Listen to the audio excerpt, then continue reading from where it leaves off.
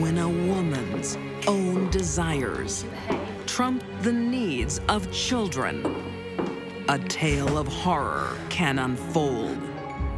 A mother of two wants another child at any cost. One of the worst, if not the worst, crimes I've ever seen. A grandmother's devotion masks her sadistic nature. His existence would be horrendous. And a brutal act of revenge devastates a family. She knew it would hurt their father to his very core. These deadly women prey on the young and vulnerable. They kill without pity.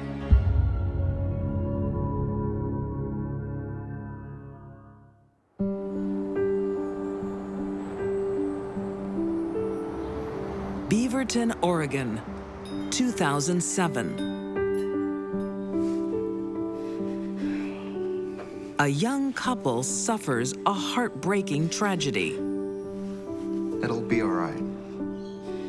The loss of their unborn child. Karina Roberts already has two children from previous relationships. But the 26 year old wants a child with her current man. Karina's relationship with her boyfriend had been going on for about five years at that time. She had two children with different people a daughter who was 10 and a son who was six. Her boyfriend didn't have any children, and they had talked about wanting to have children. She fears without a baby, she may lose her relationship. Her boyfriend is a loving man to her children.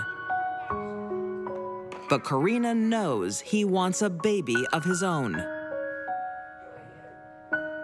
She wanted a baby, and I think she wanted it to bond with the man she was living with.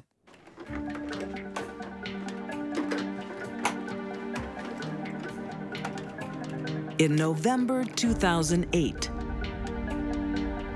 Karina is blessed with not one tiny miracle, but two. Twins. You're joking.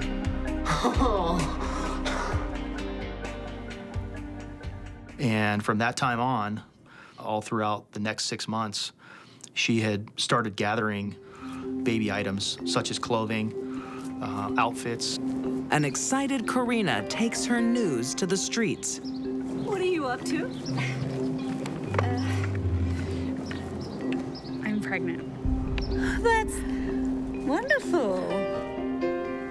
Karina's self esteem was pretty much completely tied to being a mother, specifically to being pregnant.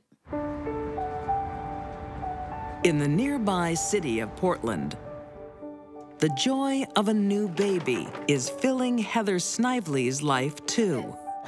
She and her fiance have just moved to the area to start a new life. Heather Snively was a happy 21 year old expectant mother. Oh. I love it. Put it on. Okay. Let's see. Okay, okay. She was very excited to be a mom. By all accounts, she was putting a lot of energy and focus into preparing for this birth, setting up the baby's room, just getting everything ready. Oh. Not long now, darling. Excited. Everything was about the baby at that point. Both Heather and Karina turned to the internet for their baby shopping. We know that that's how she ended up connecting with Karina. The two of them soon get chatting. They shared some of the same interests. She and Karina became pretty good friends. She's invited me to go shopping with her on Friday.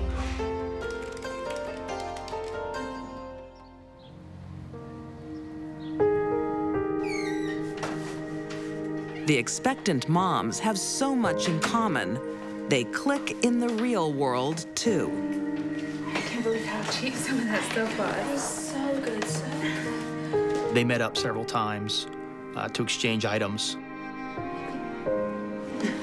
Good. But one of these two moms has a secret that no one could ever imagine. She had her tubes tied shortly after the birth of her second child. Karina couldn't get pregnant, so she did everything she could to convince her boyfriend that she was, in fact, capable of having a child. She has faked a miscarriage. And now a pregnancy. Karina had made up the story about being pregnant in 2007 and then again in 2008. Karina and her boyfriend had a pretty stressed and rocky relationship. She used the lie of pregnancy to hold that relationship together because it was fulfilling something in her relationship that she was attempting to keep together. And her deception works. Karina was a very good actress when it came to playing the part of a pregnant woman. And she had her boyfriend fooled. Until Karina's due date closes in.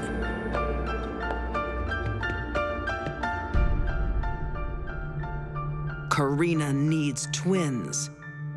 And she needs them now.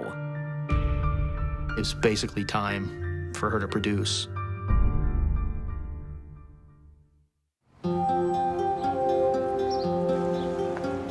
Beaverton, Oregon, 2008.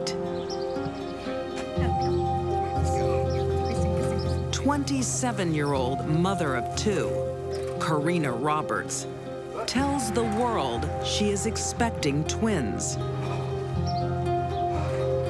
News her live-in boyfriend has been yearning for.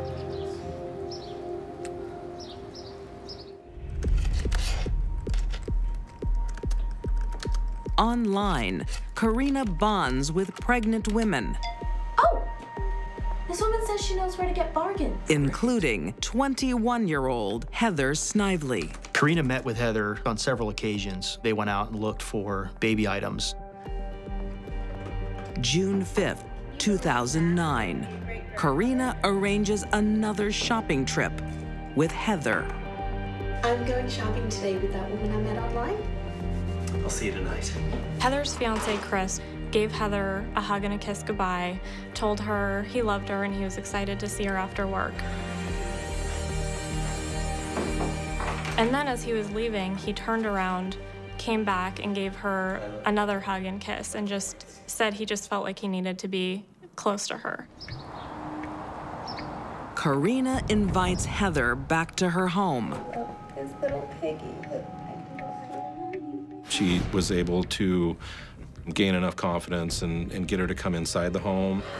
Do you mind if I use the bathroom? No. Okay. No, it's uh, it's first on the list. Heather has no idea what is in store. Karina's phantom pregnancy is about to get real. While they were both inside the residence alone, Karina was able to get a collapsible ASP baton and had a metal tip on the end of it.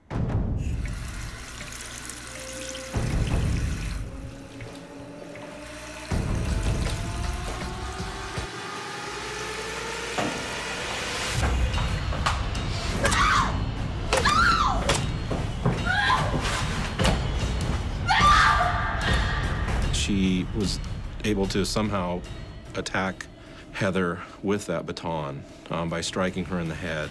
There were multiple blows to Heather's head from the baton.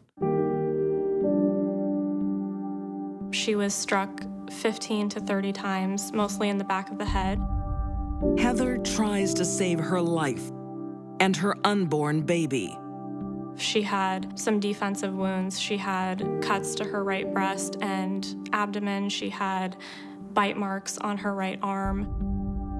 But the heavily pregnant woman is no match for Karina. Heather died trying to save her unborn baby. And the evidence of that is all over Karina's house. Now she does the unthinkable.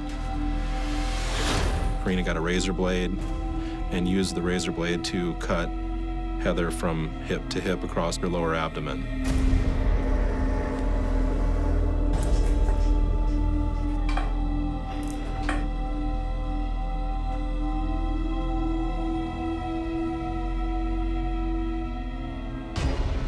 Heather's baby is 10 weeks premature. The baby was removed from Heather's body but never took a breath. Karina wanted a live baby, but is left with two dead bodies. People that are hell bent on committing a murder for a specific reason disregard all the reality and facts that get in their way of committing that murder. And that's what Karina did. Karina hides Heather's body under the house and fakes a stillbirth. She calls her boyfriend. She was crying hysterically, sounded very upset, and sounded like she was in pain.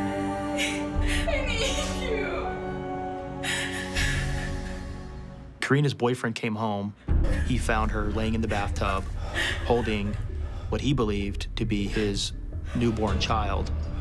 Uh, he realized the baby wasn't breathing. Karina's boyfriend called 911. My uh, girlfriend's just had twins. Uh, one of them's born. It, it's not breathing. Paramedics arrived and got her to the hospital within 10 minutes. It was very quick. But there is a dreadful hole in Karina's story. She is supposed to be expecting twins. They put a heartbeat monitor on Karina, and they found no heartbeat of a second baby. They then conducted an examination, and the doctor told Karina that she had not given birth. And Karina argued with the doctor, saying that that's not true and that she had given birth at home. The doctor was suspicious of Karina's behavior at the hospital. She was not acting as a normal mother would. Suspicious medical staff alert the police. A frantic search begins for the real mother, starting at Karina's house. Police found bloody footprints and smears. They found a lot of blood in the bathroom, and then eventually a large pool of blood leading into the crawl space.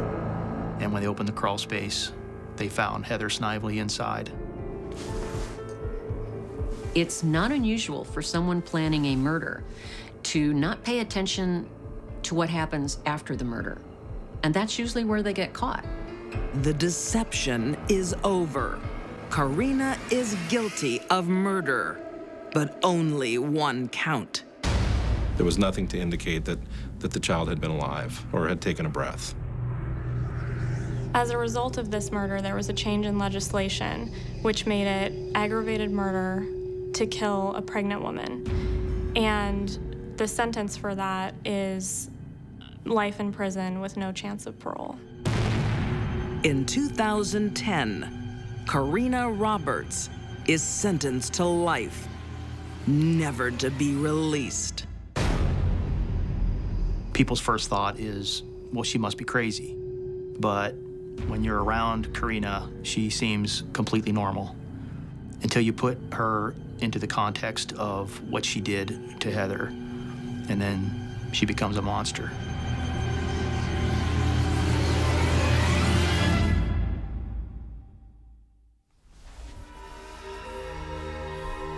When children are not cherished He had no childhood. or protected, Extreme physical, mental, and nutritional neglect. young lives are shattered. This is as bad as it gets.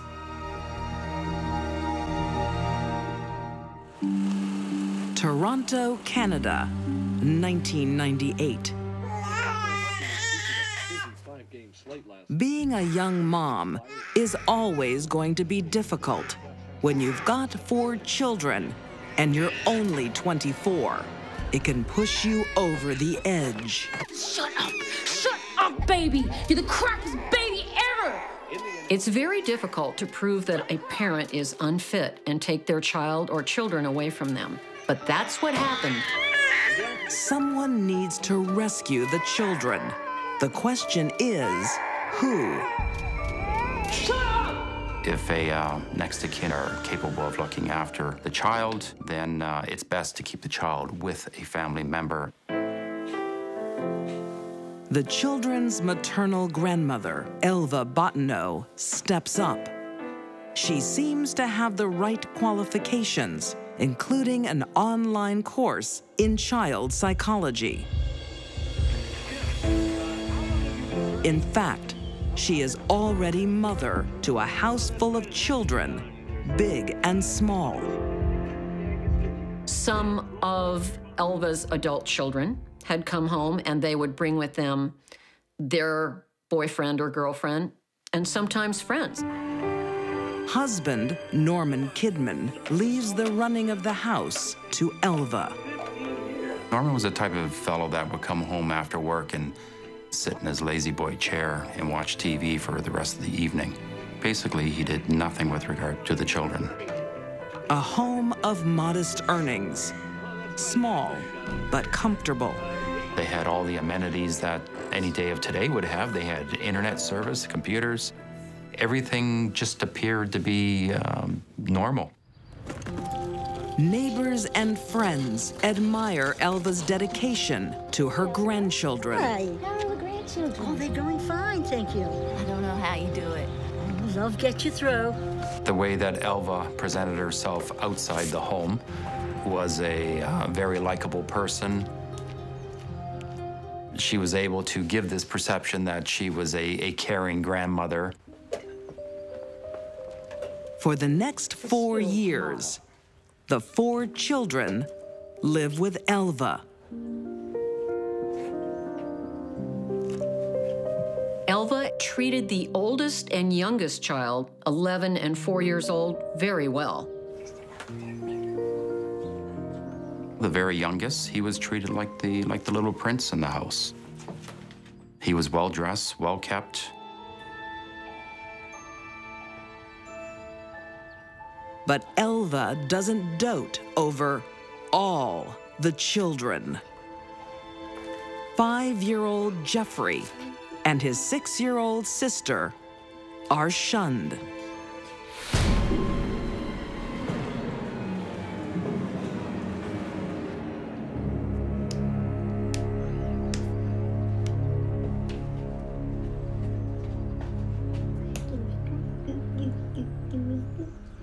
Shut up in there!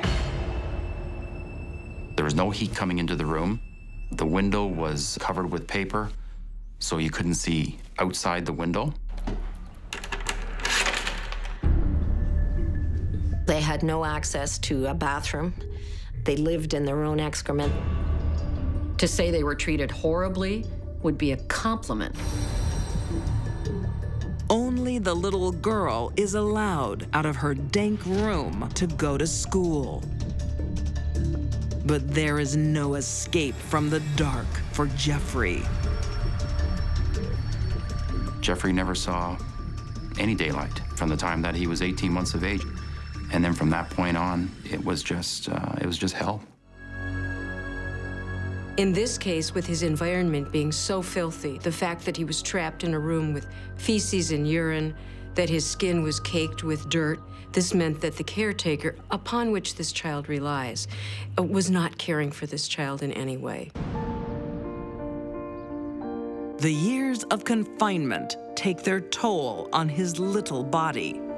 This child's growth would be stunted in every way possible. They develop soft bones. Their bones cannot support their muscles. Their bones will fracture easily. Without sunlight, the child doesn't have the psychological and neurological brain development that is necessary. It's not uncommon for an abusive parent to single out one, in this case, two children out of a group of children for abuse and neglect. And they do it right in front of the other children and sometimes other people. The rest of the household turn a blind eye to the children's plight. The people in the house had entered into some sort of unspoken agreement to not acknowledge what was happening in front of them.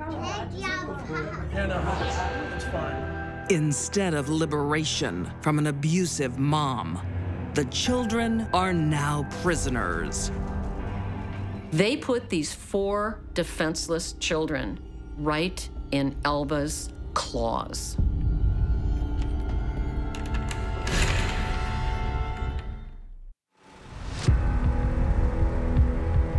In the suburbs of Toronto in 2002. I don't know how you do it. Love gets you through. Elva Bottineau is admired for rearing her four grandchildren. Looks can be deceiving, but no one realizes the depth of Elva's deceit. Shut up, you stinking pigs! In her care, five year old Jeffrey and his six year old sister endure years of horror.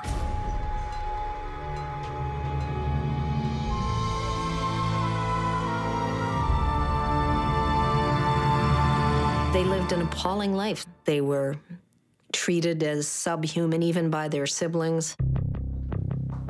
Everything Elva displays to the outside world is a fraud, including her precious child psychology certificates. Elva, who's always taking various low life internet courses to enhance her presentation as a good parent. And grandparenthood is proving quite lucrative, collecting the child support payments. Her sole purpose, obtaining legal custody of those children, was to subsidize them for income. She was motivated by money. Those kids were her meal ticket. So Jane's home in Toronto About six months, maybe a year. So are you serious about it? The home is full of adults, but no one stands up for the children, even when they're starving. They would eat while sitting on the mat.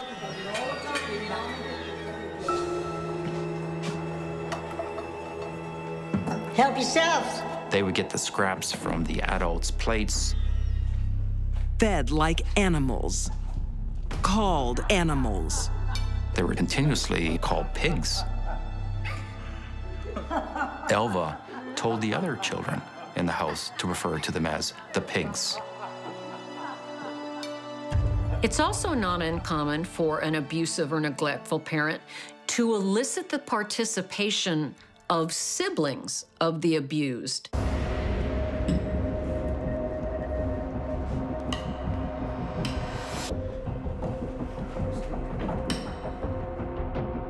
Don't go slow. They were forced to march around the, the room, the kitchen, in a circle around the kitchen table uh, as a form of exercise. Abusing a child gives an abusive parent an outlet for what they really feel a need to do, which is be mean and wield power and to dominate a weaker, lesser creature. Get back to your spot. It makes them feel good. Jeffrey's body can't cope with the ongoing abuse and deprivation. Finally, one adult opens his eyes and his mouth. A young man that was staying in the house commented to Elva that Jeffrey looked very bad This kid over here doesn't look too well. Wasn't doing well, and she should do something about it. Shouldn't you take him to the hospital or something? No, she told him not to meddle. She's not refusing because she doesn't see that he needs it. She's refusing because she's starting to get afraid she's going to get caught. If she had gotten help or let anyone help Jeffrey, what she was doing would have been exposed and she would have lost it. On November 30th, 2002, after four years of abuse, Jeffrey's misery ends. He crawled up the stairs slowly because he could barely walk.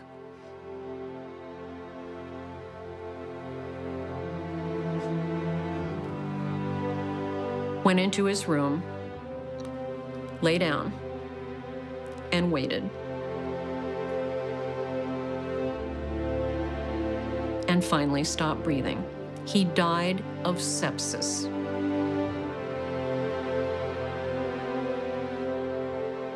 He weighed more when he was 18 months of age than he did at the time of his death. Finally, Elva calls 911. The paramedics arrive to find a cold body. Jeffrey's eyes were open, his lips were blue. Um, he was lifeless. Elva's not talking, but a homicide investigation reveals everything they need to know.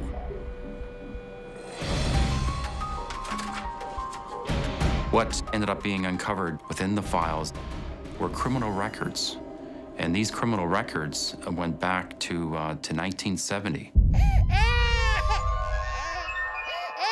Elva is a serial child abuser. Herself a teen mom, Elva's first victim is her baby daughter. Why can't you just stop crying? Her first daughter died mysteriously of pneumonia when she was only five months old.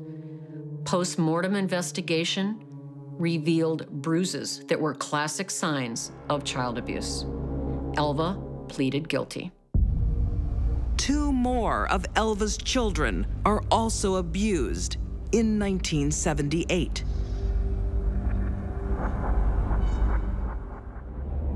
This time by her husband, Norman Kidman. One of the creepiest things of the story is that the two children that Norman abused had also been kept in cages, treated like dogs, tied with dog chains, etc. I mean, this was all typical of exactly what Jeffrey had gone through. In April 2006, Elva Bottineau and Norman Kidman are convicted of second degree murder and forcible confinement. Both are sentenced to life in prison. The horror of Jeffrey's life has a far reaching effect. The Ontario Child and Family Services Act is changed to ensure background checks are done on all caregivers. Something that could have saved Jeffrey. I feel haunted by Jeffrey's life because the tools to prevent those kids from going into the clutches of that couple were within the files of the agency. Little Jeffrey's death does save one life his sister's. She was in barely better condition than Jeffrey. She had barely escaped with her life. No little child was really safe in Elva's care as long as one of them would be available for her to abuse. When that child was gone, she would have turned to another.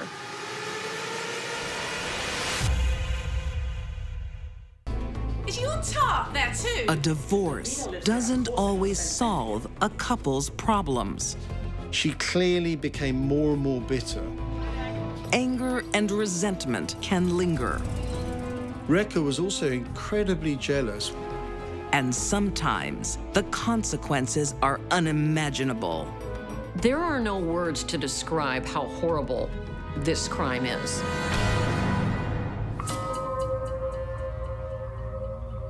In the quiet rural village of Stretham, England, in 2007.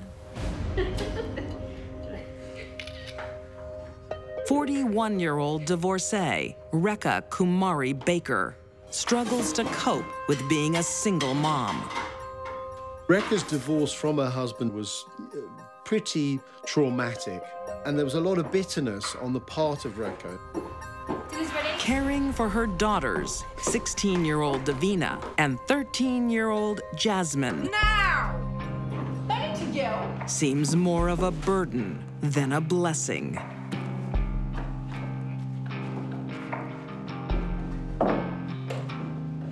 She gave the impression that she was not a mother who enjoyed being a parent. Rekha was never going to win any awards for being Mother of the Year, but she was okay until the divorce. Hello. Hi. On the surface, Rekha has moved on. She has a new boyfriend, a wealthy businessman. It must have seemed at the beginning like a dream relationship for Rekha because this guy had enough money that he was able to contribute towards her mortgage and the upkeep of her house.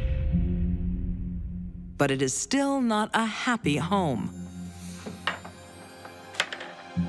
Eldest daughter, Davina, and mom are drifting apart. This reeks of alcohol and cigarettes. Be careful. There were tensions. Her and uh, Davina were certainly uh, at loggerheads on occasions. Davina was a typical 16 year old schoolgirl. Yeah, she had arguments with her mother. She was quite rebellious. But Rekha is not a mom to be toyed with. Davina's unhappiness at home with Rekha all came to a head when mother and daughter had a furious row. And Rekha decided to chuck her out of the house. You can go and live with him. And she ended up moving back in with her father. She's going. Now. It must have been very difficult for them as sisters because they wanted to support themselves and each other. Meanwhile, Dad's found a new love. He and his girlfriend welcomed Davina with open arms. David's relationship with uh, Davina was clearly very close. The stable home life is just what Davina needs. The rebellious teen settles down. Davina, by all accounts, was much happier once she moved in with her father, David. Everyone is happy except Rekha.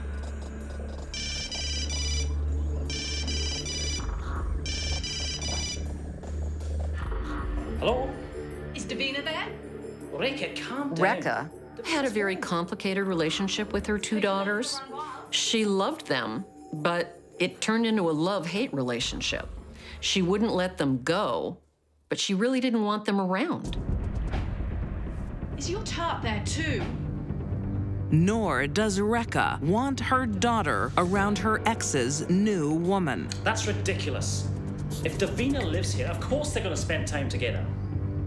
Rekha's reaction to her ex-husband's new love uh, caused even more friction with her ex-husband because he couldn't understand why Rekha felt such animosity towards this woman who'd come along long after their divorce.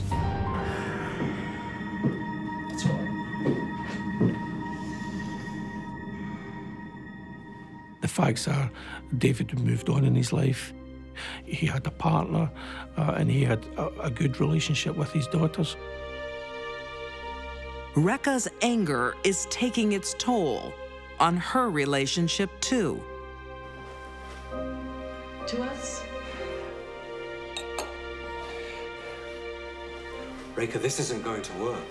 He decided he wanted to end the relationship with Rekha.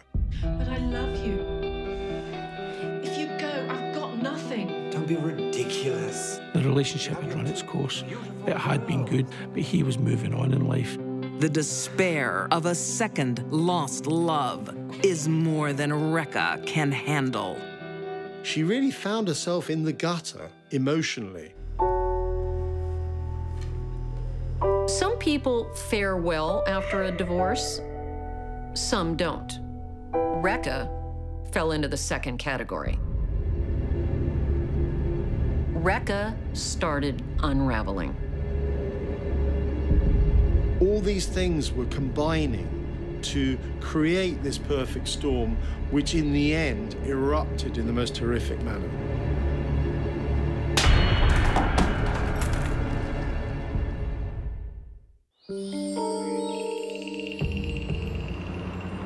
In sleepy Stretham, England, I don't want her around Davina. single mother, 41 year old Rekha Kumari Baker, is caught in an emotional storm.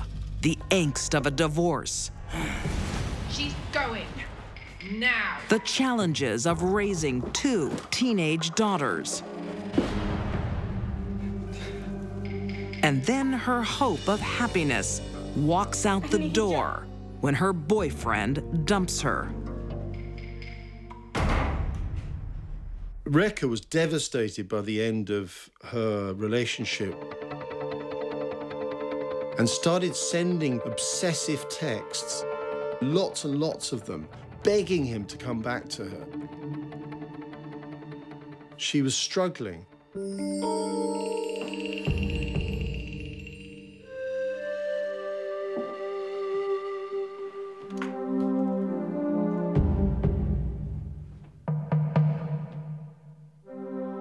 The divorce from her husband changed the status of her life financially, emotionally, and it set her on a path of destruction.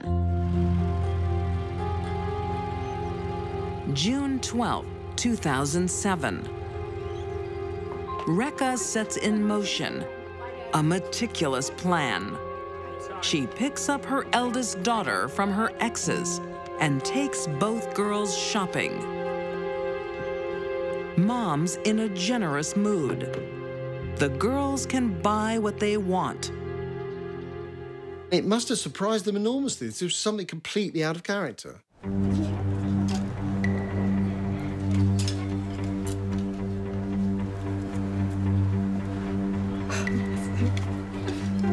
They were both happy, they were both laughing, both, you know, they were both okay.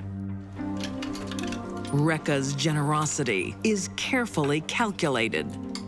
She keeps Davina out so late, it's impractical for her to go home to dad. She spends the night with mom.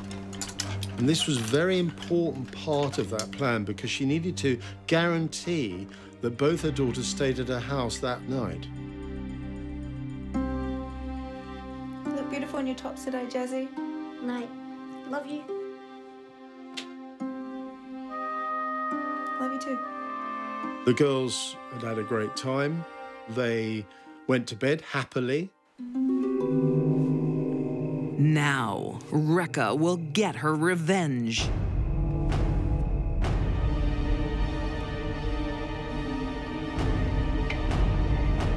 But it won't be taken out on her exes. It will be closer to home. She goes back upstairs and she enters uh, Davina's room.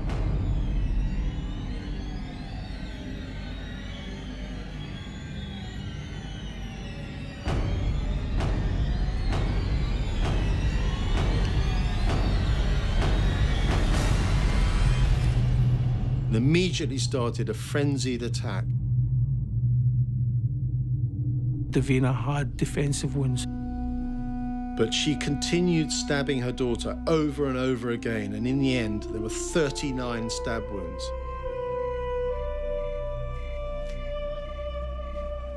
Armed with these same two knives, she then entered the bedroom of her younger daughter.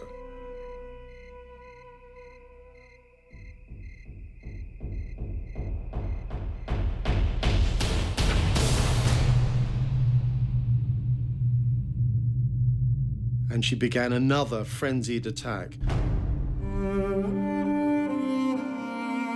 Jasmine, unlike her older sister, didn't even have time to fight back, and she received 29 stab wounds. There are no words to describe how horrible this crime is. That a mother who was not mentally ill would stab to death children she had raised for well over a decade. Still covered in her daughter's blood, Rekha writes a note explaining the inexplicable. Rekha says she murdered the two girls so that they would never be hurt by anyone. She seemed to be blaming the men in her life for the reason why she killed her daughters. And she talks about how she couldn't allow her daughters to be hurt as she had been hurt. Rekha turns herself in to the police, but pleads temporary insanity. At trial, she offers no evidence of mental illness.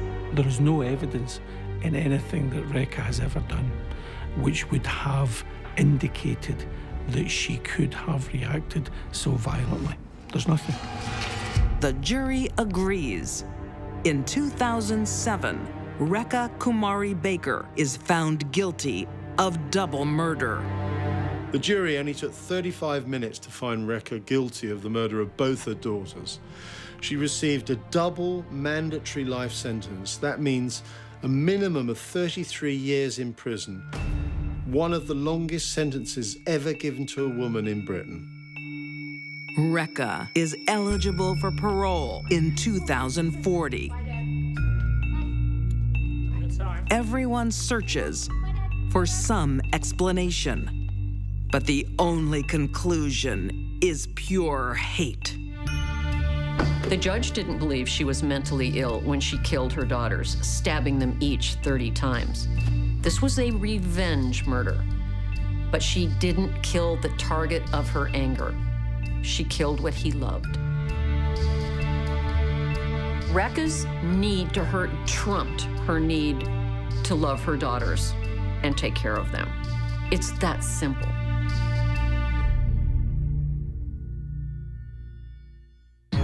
These deadly women were cowards. They targeted the helpless. Karina Roberts stole the lives of a mother and baby to keep her man. Elva Bottineau tortured her grandchildren for welfare money. And Rekha Kumari Baker murdered her teenage daughters for the ultimate revenge. These deadly women had no nurturing spirit. They killed without pity.